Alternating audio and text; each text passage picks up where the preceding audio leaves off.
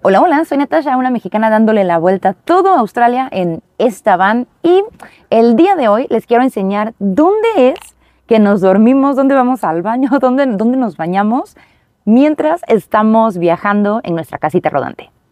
Estamos en el día 104 de nuestra aventura. Esto es lo que llevamos recorrido. Quién sabe cuánto nos va a tomar darle la vuelta a, todo el país. Es que Australia es un país bastante, bastante grande. Y por lo mismo que está tan grande y las distancias entre un lugar a otro son tan, tan grandes, es normal encontrar por todo Australia lugares o campamentos donde uno puede llegar y pasar la noche. Algunos de estos son gratis y otros son otros sí tienes que pagar. Estos lugares donde uno puede acampar a veces son lugares designados por el gobierno, pero si no también son lugares privados que la gente, pues no se supone que tienen un terreno grandote, lo acondicionan y rentan espacios chiquitos para que uno pueda pasar la noche. Otras personas que también viajan en casitas rodantes se quedan, pues ahora sí que si encuentran un lugar donde estacionarse en la calle, también lo pueden hacer, pero nosotros no podemos quedarnos en ese tipo de lugares ya que trabajamos en nuestra computadora y muchas veces Warren tiene, por ejemplo, videollamadas a las 7 de la mañana, entonces yo me tengo que salir, entonces imagínense, estás allá en la calle o en, en algún estacionamiento y, y, yo afuera trabajando en la computadora, en una silla y Warren, no, no, no, no se puede. Es por eso que nosotros nos tenemos que quedar en lugares designados para acampar. Creo que una de las cosas que más me sorprendió de Australia es ver la cantidad de campamentos que hay por todos lados. Y les voy a enseñar cómo es que le hacemos para encontrar estos campamentos y también les quiero enseñar este campamento donde estamos. La aplicación que usamos para encontrar dónde dormir se llama Wikicamps. Entonces, por ejemplo, estamos en esta zona y si empezamos, a hacer zoom, miren, ya empiezan a salir todas la, los lugares donde podemos pasar la noche. Los rosas son parques de caravana, que es como el que estamos ahorita. Y hay unos, ¿dónde están? A ver si encuentro uno por aquí. Como este, que son, se supone que son campamentos. Pero este ya vi que es un parque. Sí, se supone que son campamentos y la mayoría de ese tipo de campamentos son gratis. Entonces ya cuando encontramos alguno que nos llama la atención, le picamos y te, pues te viene toda la información del campamento, todas las amenidades, cuánto, si es, si es de paga, si aceptan animales. Viene bastante detallado, vienen reseñas. Acá puedes ver las reseñas. Algunas personas te dicen los baños están horribles, el personal es bastante, pues no es amigable, es un lugar bastante inseguro. Acá también te ponen cuánto cuesta. Eh, uy, esto está medio caro. cuesta 53 dólares, pero bueno, muchas veces los que están así al ladititito del, del mar son los más caros. Y también vienen fotos. Algo padre de esta aplicación es que puedes buscar lugares que nada más sean gratis. Pero miren, no hay muchos, o sea, sí hay algunos. Pero vean, por ejemplo, a ver, este vamos a ver qué tal. Este ni siquiera tiene reseñas, pero ah, este creo que es de ese tipo de lugares donde, donde se paran como para descansar la noche. Es especialmente, creo que está de, designados para, para gente que, que maneja camiones, pero igual uno puede, puede quedarse ahí. Acá hay otro, este tiene 11 reseñas. Y sí, hay, hay varios lugares. De hecho, mañana nos vamos a quedar en un, en un lugar gratito. Ahí les, les haré un video. Este es el mapa del campamento. Por lo general, en todos los campamentos, los lugares están designados. En este caso, nuestro lugar es el T88. Cuando, cuando llegas a la recepción, te dicen dónde estacionarte. Algunas ocasiones es estacionante donde tú quieras, pero por lo general, especialmente los campamentos como donde nos quedamos ahora, te dicen dónde te tienes que quedar. Y acá al reverso vienen las reglas. En este caso, una regla que nunca habíamos visto era que nos teníamos que estacionar con, así de pompis. De hecho, no, lo habíamos visto y nos tuvimos, alguien nos vino a decir que porfa nos estacionáramos pues así como aquí dice. Pero bueno, ya, mucho bla bla bla. Vamos a ver el campamento. Este campamento que les estoy enseñando está en Byron Bay, está justamente aquí, es uno de los lugares más turísticos de Australia y estamos muy, muy, muy cerquita del centro. Por lo mismo, es un campamento algo costoso, cuesta 40 dólares la noche y nosotros tenemos un presupuesto para renta de 840 dólares al mes.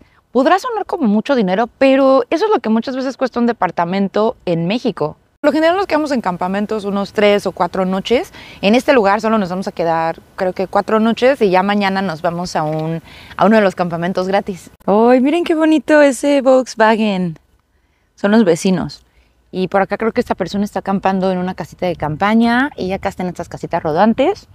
Esta es nuestra, nuestra poderosa máquina con ruedas. Los campamentos tienen basureros por todos lados. Parece que son súper seguros. Tú te puedes ir a hacer tus cosas y dejar pues tu casita o, o no sé, por ejemplo, y dejaron sus zapatos y no, no pasa nada. También los campamentos tienen, un- tienen varias, eh, ¿cómo se llaman? Tomas de agua y toda el agua es potable. Miren esos pajaritos con su pollito. Oh. En los campamentos tú puedes elegir si te quieres quedar en un sitio sin electricidad o con electricidad. Quedarse en un sitio con electricidad es pues un poquito más caro, a veces unos 5 o 10 dólares más. Y miren, es así, entonces aquí lo abres y ahí enchufas tu van, como esas personas de ahí. Nosotros, a pesar de que tenemos paneles solares, sí nos tenemos que, que ahora sí que enchufar a la corriente por lo menos como una vez cada dos semanas para recargar, recargar al full la batería. En estos campamentos también hay casitas y aquí viven las personas ya de manera, de manera temporal, digo permanente. Vivir en este tipo de lugares es muchísimo más barato que rentar en la ciudad. También hay cabañitas para rentar, la verdad de que no sé cuánto cuesten, pero por lo general son para, pues, para familias que viajan juntos. Algo que disfrutamos mucho de quedarnos en este tipo de campamentos es que es súper fácil conocer gente. También esa es una de las razones principales por las que nos gusta quedarnos en, en campamentos. Miren lo que hay en ese árbol. Es una pitón. Las pitones son inofensivas, de hecho mucha gente las tiene de mascotas, pero ahorita como es primavera hay un montón de pollitos, pues andan de, de cacería las canijas. Y bueno, por acá tenemos el área común, estos son unos asadores que la gente puede usar. Acá también están unas mesitas y este es un área de lavado, o sea, de lavar trastes pues. Tú puedes venir con tus trastes o puedes venirte a hacer de comer y pues acá lavas, lavas tu asunto. Acá hay más asadores y esta es otra eh, área común. Acá tenemos lavadoras. Estas sí cuestan, creo que cuestan, no sé, ah, 5 dólares. Y también tienen secadoras, hay unas, hay papitas. eh, también está esta, esta cocina no está tan equipada como la de otros campamentos, pero también puedes tú acá guardar, si no tienes refrigerador, puedes venir aquí, acá a guardar tus cosas. Y acá, ay, ¿qué es esto? Secadoras, creo. Lavadora, secadora, no sé qué es. Ay, un montón de estas combis. Están súper chidas, ¿verdad? Vamos ahora a ver los baños. Como pueden ver, están súper, súper, súper, súper limpios. Y